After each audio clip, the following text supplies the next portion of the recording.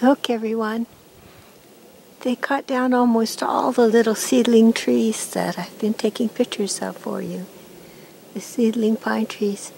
There's only one left. Why would they do that? And they cut down this one. And a big one over here. See?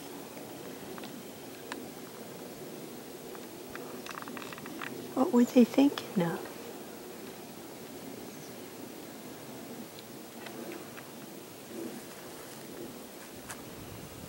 At least the big ones are still here. Gosh.